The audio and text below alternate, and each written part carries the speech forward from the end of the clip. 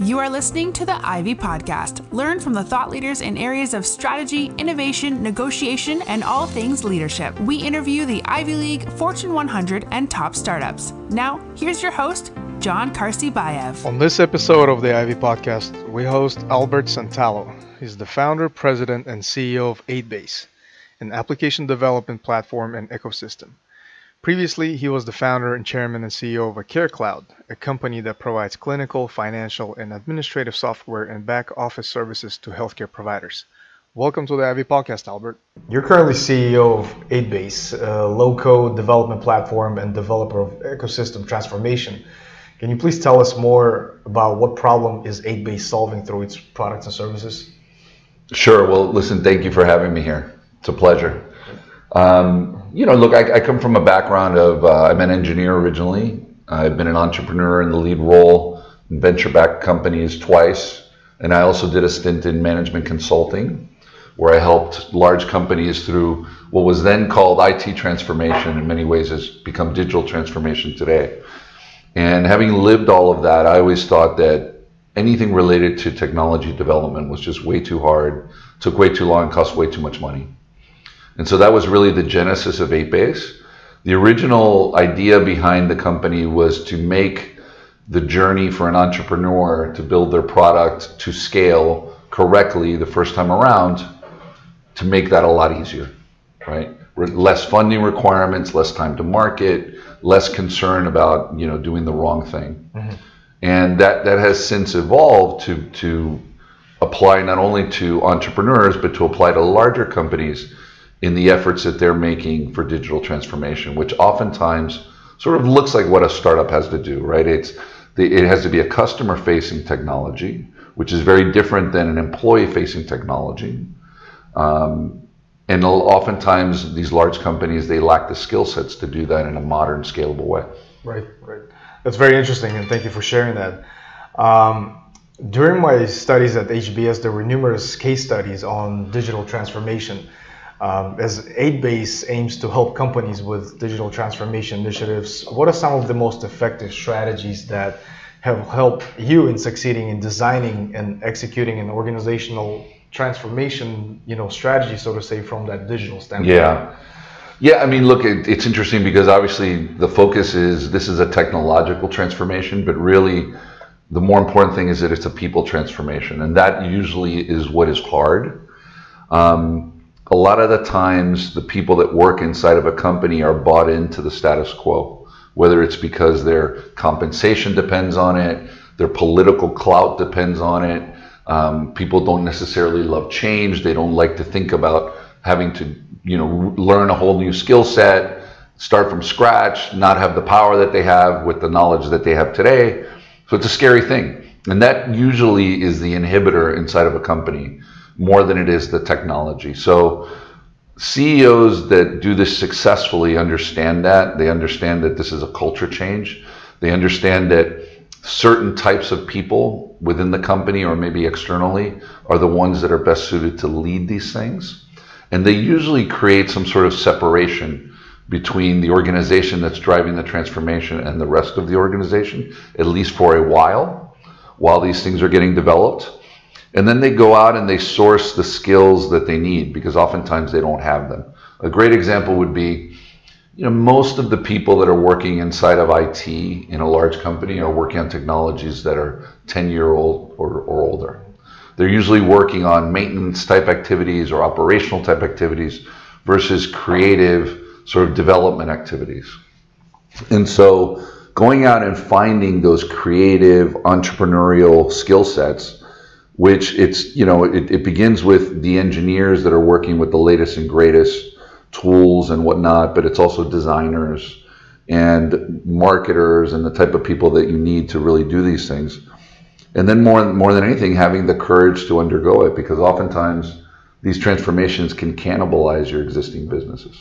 Yeah absolutely. I like what you said at the beginning. It's not so much the digital aspect it's more it's more of a people transformation yeah. that's where it starts absolutely um, and you know a lot of times when companies take on these you know transformational initiatives they overlook that component that it starts with the people definitely um, you've mentioned um, something around you know the types of people it requires to succeed with transformation initiatives like that. Um, when hiring for 8base or any of your pre- previous um, initiatives, for those candidates that get you know interview with you, do you tend to get creative with some of your interviews? And if so, what do you look for in some of the responses? Yeah, you know, I, I try to I try to get creative in the in the interviews. It, it will depend on the role that they have. It's very different if you're interviewing an engineer, a designer, a senior executive, a marketing person. Uh, it'll vary a little bit, but usually I want to understand, you know, I'm trying to align them along sort of my three principal dimensions of what I consider a successful employee, which is the number one thing is that they have to be, they have to have a healthy dose of curiosity. So as to be somebody that uh, is a lifelong learner for obvious reasons in the world today. You know, what you know today will be obsolete a couple years from now. And if you're not constantly learning, I don't care how much experience you have, um, you're not going to be successful, especially in a company like ours. Number two is they have to have a great attitude. And that great attitude has to come to work every single day, whether it's a good day or it's a bad day, um, because the bad attitude just tends to impact everybody else's uh, ability to get their work done. And then the third thing is that they have to have a healthy work work ethic. And so everything else is important too, right? Their their educational experience, their work experience, their intellect, all these other things. But I've always found that if you don't have the first three, um, you're not going to be successful in one of my companies. Mm-hmm. And so um, I, I'll ask them things like, you know, what advice do you have for your previous boss? See what they come up with, you know. See if they if they have something truly constructive, or is it is it something a little more toxic, you know. And that helps me sort of figure out what type of person they are. Um, and then you know something else might be what's the most interesting thing about you that we wouldn't learn from their resume. I'm always astounded by what I get back from that, things that you never expect. So it's things like that. Great. Thank you for sharing that. And there you go for some of our listeners who potentially we'll be interviewing with Albert. you have some insider there information. You go. Yeah. Uh, no, but that's great, and I like the breakdown in terms of those three principles because at the end of the day, you can't really teach personality. Uh, that's, yeah, really tough. Really, really tough. You know, unless you're in the military and they break you down, you know, right. it, it, it doesn't work in business for sure. Absolutely. Um, to shift the gears a little bit, um, your previous ventures, such as CareCloud, which is a healthcare modernization company, and Avisena, which is RCM company for physicians, are in healthcare industry. Is your background in healthcare and what motivated you to launch these companies in this space? The reason it's interesting to me is because we come from healthcare IT background, having worked at you know different healthcare companies. Yeah. Envision Healthcare, just to name a few, and it's uh, it's an interesting space. Yeah. And there's a lot of room for improvement. Sure. Uh, so I'm just curious to uh, get your take on that. Yeah. No. So so I um, I originally started in financial services. When I was a working engineer, it was it was in what would now be called fintech. And, uh, and then later on, I, I did a stint in healthcare technology. And uh, I was just blown away by the difference between financial services and healthcare in terms of technology enablement. So I always thought there was a very large opportunity there. Um, in between that part of my life and the entrepreneurship part, uh, I worked in management consulting, where I worked mostly with large US based companies in their global operations related to everything that technology touched. And uh, so I saw a lot of patterns that I had seen in my earlier life in, in many, many different industries. And um, when it came time to jumping into the lead role as an entrepreneur, the biggest opportunity I had seen so far was, was healthcare. And so that's why both of my previous ventures were in healthcare mm-hmm. uh, or are in healthcare. Both of those companies are still around. And, you know, I'm not uniquely a healthcare person. I know a lot about it. Um, I still believe the industry has a long, long way to go. But for my third company, I really wanted to do something a little bit different, um, which is not unrelated, right? But it, was, it, goes back to my engineering roots. Having, especially at CareCloud, you know, the, the system that we built at CareCloud, incredibly complex. And as I observed what the engineers were doing every single day, 80% of what they did was what we would call non unique systems. It was things that would power any SaaS application, mm-hmm. but not necessarily anything related to healthcare or our innovation. So with 8base, what we wanted to do was flip that equation, make it so that 20% was on the non-unique systems and 80% was on the innovation. Very interesting. so some of the problems that you saw actually that you were solving for with the previous companies, uh, you're now you know applying that with some of the you know things that you guys are doing with 8base to be able to improve that and make things better when it comes to you know code maintenance, deployment, and things like that. So yeah, very interesting. 100%. Yeah, I, and, and my my entrepreneurial style is also one where I only jump into things that I know extremely well. Mm-hmm. Like I've, I, I, have been living the problem in one way or another. I understand the space, and, and, and then I have the, the, the courage, for lack of a better word, to get in. Yeah. Before that, I, am not the type that jumps out of a plane without a parachute. right. That's a good analogy. Um, RPA, AI, machine learning, and other advanced technologies are reinventing software engineering as a whole. Yes. Um, what trends do you think will make the most impact on how companies digitally transform in the next few years? So, one of the interesting things I, I see is is not such a technological one, but really more of a sort of a cultural and design one, which is that if you're building systems for your employees, is very very different stylistically than what you're building for your customers. Most of the the capabilities that companies' IT departments have are related to employee based systems, whether they be the core ERP systems or the systems that surround it or the shadow IT systems. Most of the low code platforms that have enabled that stuff is really about internal systems. But when you think about building for your customer, especially if your customer is a consumer and not another business, the requirements of those systems are dramatically different. Number one, the, the user interface has to be branded in the style of, of your company and it has to be fully consumerized, meaning that you can start using it without any training. Uh, it's easy to understand, you know, easy to learn, etc. And that again, different sort of skills that you need to make that happen. And what I would also add to that is that templated user interface design uh, software doesn't usually get the job done there. It needs to be a bottoms up development effort. This is becoming incredibly important as well because of the what we call the user led era, right? It's traditionally technology professionals were the ones making the decisions around what technology to use. And now it's users inside of companies choosing first and then getting the buy-in from the technology leaders. And so that that's changed the game in terms of how technology is rolled out, how it it, it gains the hearts and minds of the users that it that that, that begin to use it, etc. Um, and I think you know low code in general is going to be a you know companies that embrace low code um, are going to have a tremendous competitive advantage it's estimated that within five years, 65% of all software built in the world will be built using a low code or no code development platform. That number today is probably in single digits. Wow. So it's it's it's happening very very quickly. Um, it's also estimated that companies will have three to four different low code and no code tools. So it's not a sort of a winner takes all. It'll be different platforms based on different types of enablement. And, you know, I, I, like to sort of discuss that in a way that might not be obvious to most people. Because one thing I hear every once in a while is why do we why do we need low code if there's a SaaS product for everything? But when you really think about what are the SaaS products that companies buy, it's mostly about enabling their employees. It's not about enabling their customers.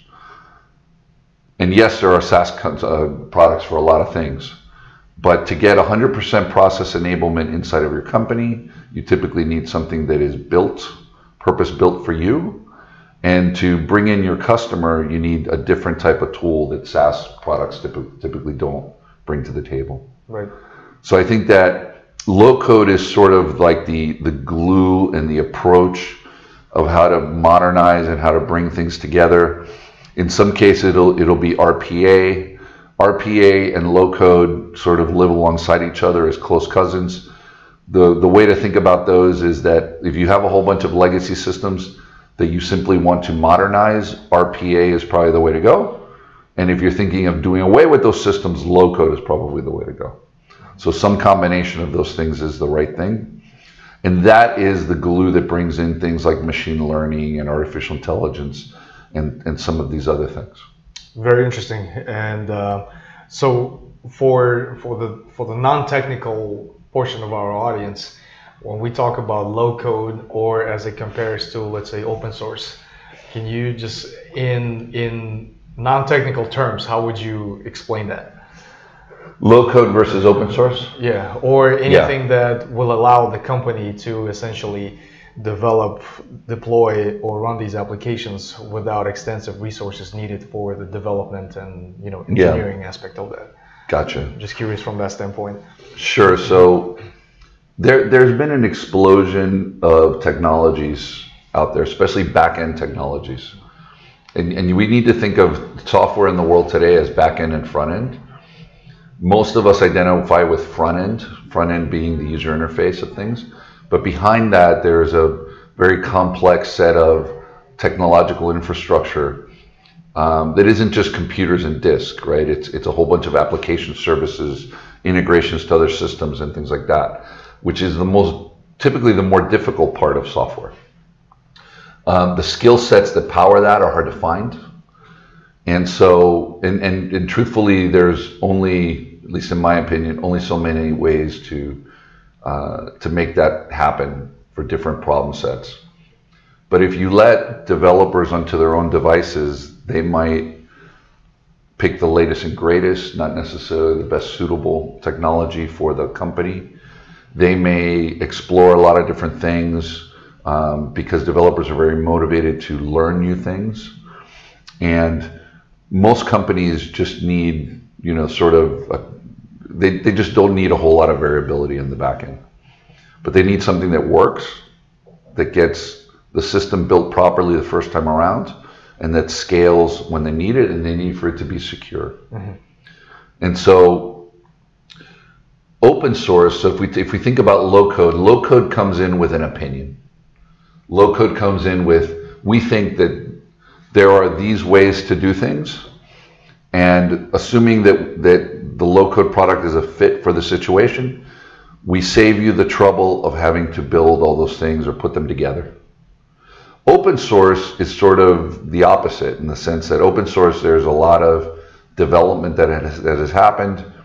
These libraries are open to, um, to developers to, to use them, put them together. It's a very, very powerful model, but it's still very much of a bottoms up development driven model versus a model that starts with an opinion. Um, so I would say that at least 80% of the things that I see are well suited to the right low code platform. You know, if you're a SaaS company, there's only so many ways to do that. If you have a you know data science requirement or a big data requirement or both, um, you know, there's a certain way to do those things. Mm-hmm if you have a, um, a marketplace or a social network or a workflow driven SaaS app, there's only so many ways to do that. And do we really need to reinvent the wheel every single time? Right. And what's worse is, you know, what I'm seeing often is that, especially entrepreneurs, they're trusting these architectures to people that are ill equipped to do it. Uh, a lot of times these are marketing agencies that grew up web, as, as website builders and now they're asking them to build digital applications. And what's happening is that the products look right, but they break, they fall apart when you need to do anything either at, at, at, at scale or you need to pull information out of these systems. They're just not architected correctly. And so the concept that giving people full flexibility on architecture actually drives a better result, I would say most of the time it doesn't. Mm-hmm. Most of the time it doesn't. If you leave that to the most technical people in the world, maybe it does. But most of the time, giving people uh, a starting point that gets them 80% of the way there is a much, much better thing. Very interesting. And you've mentioned something as the requirement for very niche and hard to find skill set uh, that would be able provide you with these opportunities to scale or you know create these tools for organizations to be able to run develop deploy you know applications from that standpoint. Curious we're we're based out of south florida and you know 8base you guys have you know resources all over the world i understand but you guys are based here as well um, we've seen an emergence of different, really unique and very cool companies uh, come up here in South Florida. But from talent perspective, um, I think there's still there's still limitations. There's still opportunities for for more. Um, as you guys look for you know to expand 8base or you know for partners and you know in that domain skill set how hard is it for you guys to to find um, you know this talent? And what strategies do you have in place that allows you to attract some of the you know very unique skill set? Sure. So fortunately the world has changed quite a bit. You know talent is a problem everywhere. So I, have never been anywhere where there's so much talent that uh, that it's easy um, and that includes Silicon Valley. In Silicon Valley, you have you have an abundance of talent, but you also have an abundance of demand for that talent. And people are expensive; they're hard to keep. Um, so, so this is a challenge everywhere. Fortunately, the world has gotten very flat, and we're able to work using remote teams pretty easily. So, you know, we always prefer having people here, but they, they don't necessarily have to be here. Um, you know, we're, we're doing a lot right now in Austin, Texas. And, you know, our, uh, one of our lead guys basically, you know, I want to, I want to live in Texas. And we said, great, go live in Texas. It's fine. Shouldn't affect anything that we're doing. In fact, I would say that building a capability to have a, a remote team is a huge competitive advantage for any company these days.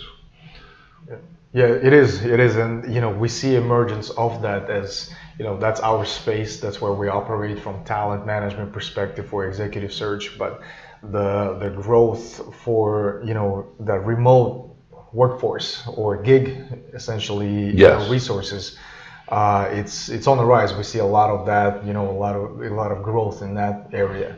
And I think a lot of companies that embrace that model I think they'll have definitely a lot greater competitive advantage from that standpoint I think they have to yeah. you know absolutely um, a good portion of our listeners are second year MBAs, you know, mostly Ivy League. And uh, in terms of the culture that you're building uh, within the 8base, um, what uh, what what can you share from that standpoint for anyone who is looking to either join a big corporation or up and come, you know, a startup like 8base? What would be kind of the inside look into that type of uh, environment? Yeah, so that's a that's a great question. I would say so. How would I how would I define the culture? So, um, it's a hard charging culture in the sense that you know we have we have large ambitions. We're in a hurry to go realize those ambitions. Um, we hold each other pretty accountable to that mission, uh, and the team generally works extremely hard to accomplish it. But it's I, I, like to think of it as a kind of place where you know you blink and the day is over. Like you, you feel like um, it wasn't really work. It was a lot of fun and you were doing challenging uh, fulfilling things. And it's incredible I, I can't express to you how powerful it is to see especially entrepreneurs show up and say that they want to build on 8base and we're a part of that and watching those entrepreneurs fulfill their dreams at record speed, right? And by the way, so sometimes they're just building on our platform, and sometimes we act, we have a team also that helps them build, if as an optional service. So sometimes we take the lead on designing and building the product on our own platform for the entrepreneurs, and that's an incredibly fulfilling thing. And so if I take that and I extrapolate, what does that mean in the future? One of the things I've always tried to infuse in my companies is that you know you're not necessarily expected to work there for the rest of your life, but we want you to be better from having been there, both better on your resume, better as a as, as, as just you know an athlete in general, for lack of a better word, just a better business person. But the ultimate of that is that you go off and you create your own venture and you take what you learned in 8base, you know, the entrepreneurial learnings that you that you got here and you make a business for yourself eventually someday. And now with 8base itself, we have an even greater mission, which is you might as well build it on on our platform, mm-hmm. right? So that's probably the best way I would describe the the culture. Mm-hmm. Yeah, very interesting. And uh, recently, I interviewed uh, CTO of uh, OfferUp. Um, Amish, and you know they they kind of you know in the startup yep. phase as well. They're growing tremendously, but something that he mentioned when we talked about that building that culture is within the lines of what you were talking about, and I like what he he labeled that as a having that startup stomach, almost to be able to come in and you know without any you know push motivation to have that you know self start yes. like self starter and at the end of the day as a founder and ceo of the company i'm sure it's extremely rewarding to see uh, people being you know self motivated to drive and you know put in the work and the resources into building something on the platform that you guys are creating. I think that's uh, very unique. Absolutely. um, Last no, it gets it, it, it's easy to get up in the morning with that mission. Yeah, I'm, I'm pretty sure we live yeah. we, we live that on a daily basis. Yeah. Um, last but not least, I'm sure you, I'm sure you read a lot, and I'm just curious, what what are you currently reading, and if, if there's a book that you always recommend to others, uh, what would that be, and, and, and why? Yeah, you know, there's a lot there's a lot of books I would recommend for different things, but. Um, what a book that I'm that I'm finishing now is called Sell More Faster. It's written by a gentleman named Amos Schwartzfarb, who's the managing director of TechStars Austin. Uh, Amos has has been a successful entrepreneur, sales leader in six or seven companies, and he sort of got this down to a science. And so, you know, every every startup needs to sell one way or another, whether it's on the internet or it's hand-to-hand combat. And so Amos has done a, a, really, really nice job of putting the formula down. And, um, and so I'm really enjoying that book. I think that, you know, a couple things, a couple other books that come to mind is Zero to One from Peter Thiel that um, really talks, you know, I think that the thing that stands out to me most in that book is, is the counter counterintuitive nature of finding product market fit and how narrowing your market down to the customers that will absolutely buy your product every single time and then expanding from there is not it's not typically the way entrepreneurs think. Yep. they think about going after big markets. But i found that to be incredibly valuable. And then um, another book i was really surprised about is a book called traction by gabriel weinberg which is all about sort of operationalizing sales and marketing uh, all the different disciplines of it and how do you best do it and case studies uh, about how others use those those plays I thought was really really helpful. Excellent. Thank you for sharing that. Uh, definitely seems like very interesting books. And for listeners, we'll include the links to these books with the episode notes. Albert, uh, I know you're a very busy guy. Thank you for finding time to meet with us, and I look forward to reconnect with you in a couple of years to see, you know, how far the 8base has grown. And it's always interesting to, you know, to revisit that and you know, kind of refresh the conversation we had, you know, a couple of years ago to see how much has changed. So definitely look forward to that. Absolutely. Well, thank thank you very much. This is great. Thank you for listening to the Ivy Podcast. Be sure to subscribe to our RSS feed on ivypodcast.com and all major podcasting platforms like Spotify and iTunes. As always, if you enjoyed this podcast, please give us a rating on iTunes.